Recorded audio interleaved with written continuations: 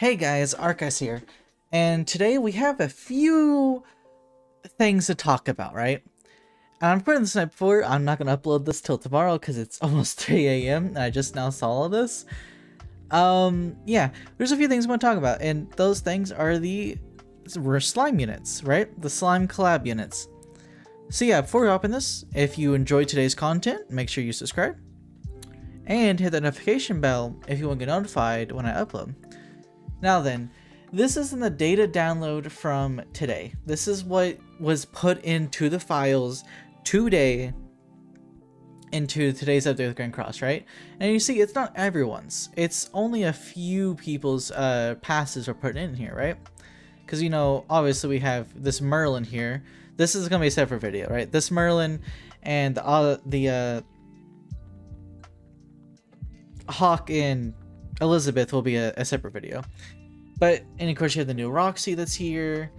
Um, you get, you know, the Final Boss Glocks and Drill cars are here and everything. You have some tickets.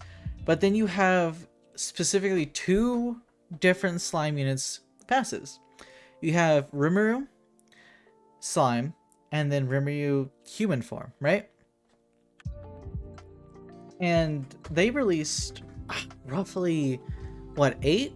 It's like eight to nine months ago. So a lot of people who came in won't actually have these units, right? And they're they're exclusive to the collabs. But if you remember, dev notes from roughly uh I think last month actually, they stated, and I quote, it was frankly pointed out how unfair it was not to be able to obtain certain heroes from the past, and in turn, be able to fully utilize ultimate moves and level them up. This part is due to the nature of collaborations releasing heroes in a fixed schedule under contract. Currently, we are discussing with each IP holder so that the knights who haven't acquired existing collaboration heroes may see these collaborations turn in the future. So, they did mention they are going to... Oh, okay. We ask for your understanding of the difficulties providing an exact time of this implementation due to many factors stemming from contractual obligations, we will be sure to inform you through another dev notes as soon as we have more details. Okay, they this was both on this released on global and also released at the same time on JP slash KR, right? So they were talking about how they wanted to, you know, they want to talk to the people they did past collaborations with and see if they can, you know, maybe bring them back so that people could actually legitimately, you know, pull for the units again.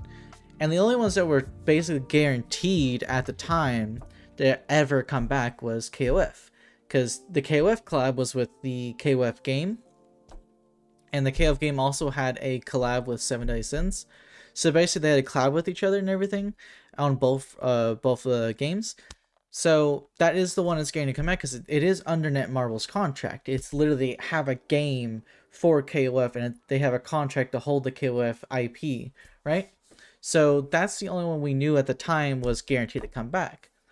Then there's many others. We were thinking, well, maybe like slime and stuff because also in the past, uh, this shouldn't take it off, should it? It doesn't. Okay. We got the beta app. there were units from Slime Collaboration receive a buff. That was April, the end of April. You know, legitimately that, you know, they were receiving a buff, right? I don't know if it was still in there past this, but I know that in April, the end of April, it was in there, right? And of course, you saw that in June. That's when they talked about that in the dev notes. Well, and, and of course, and then the data from tonight, who signs uh, units passes were in the data. We don't know. I don't know if they actually, they actually changed anything, or if they um, legitimately will be changing something I have no clue. I don't have the slime units over on JP and uh, KR. I don't have the units on my account over there because I wasn't playing JP when slime the slime cloud was released, so I have no clue. But we're going to go ahead and take a look at what they originally were, and then I will have someone. Um, if you follow, go follow my Twitter down below, check that out. I will probably be posting exactly there an update to where someone, if someone did actually, um, have them be updated or everything in game. We don't know. so yeah, let's let's quickly go look at the slime units currently. Okay, so here we have um, Slime Rimuru, right? His first attacking card removes buffs, uh, does some damage, you know, it's single target and everything. And rank 3 and cancel buffs and stances. It's your typical cancel buffs and stances card we've had since day one of the game. And of course, the second one is a pretty, I would say, good healing card. He heals the HP of one ally by 300% of attack. And then on level 2, he grants debuff immunity after that for two turns and in rank 3 it becomes AoE. So in all honesty, this is, on my opinion, a really good healing card. His ultimate is just inflicts damage of 630% of attack on one enemy, and then depletes 3 ultimate move gauge orbs. Uh, we got this unit for free, by the way. And his passive was allies heal for 5% of diminished HP at the start of every turn.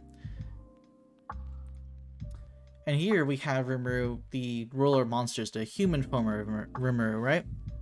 His first skill is a single target rupture card that goes increased amount of damage, right? If you didn't know what Rupture does, Rupture is extra damage against buffs, as you can see here. It's two times damage against buffed enemies, right? His second card is a stance card which grants debuff immunity for one turn and then heals 20% of the diminished HP at the start of the next turn assumes a stance which grants debuff immunity and then taunts the enemy for one turn. It goes up to heals 30% of diminished HP at the start of the next turn. His level 3 makes it to where it goes up to taunts enemies for two turns and then heals 50% of the diminished HP at the start of the next turn. His ultimate is um, without actually, you know, including Meliodas with it. It cancels buffs and stances on one enemy and inflicts damage equal to 490% of attack and stuns for one turn. On when it's combined with Meliodas as the association unit, it cancels buffs and stances on one enemy, then inflicts damage equal to 560% of attack, then stuns for one turn. Um, it goes all the way up to 735, he gets a 6 and everything. His passive increases defense related stats by 8% at the start of next turn if the hero takes damage, limit 5 times. So if he takes damage, at the start of next turn he gets 1 increase. It takes 5 turns for this to get maxed out. I'm pretty sure it's once once a turn. I'm pretty sure it's once a turn. I may be wrong. I don't use this unit. I haven't used this unit since they released. Um, yeah. I do have confirmation about someone who has the unit. Going to pull it over here. The translation.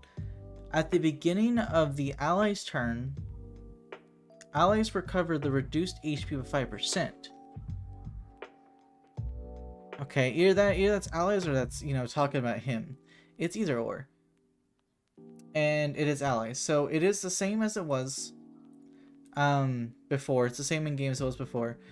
But that still brings up the possibility that something could be changing because they do have these in game uh, in the download. These were put back in the download for some random reason, don't know why.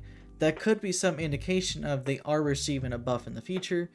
We just have to pay attention and watch out. I just want to make a video for this because a lot of people probably aren't going to go just zoom in and dive it into this so I, I quickly looked through it. I saw something on Twitter about it, so I went jumped in here and looked at it, and yeah. Yeah, thank you guys for watching. I will see you guys next video. Bye bye!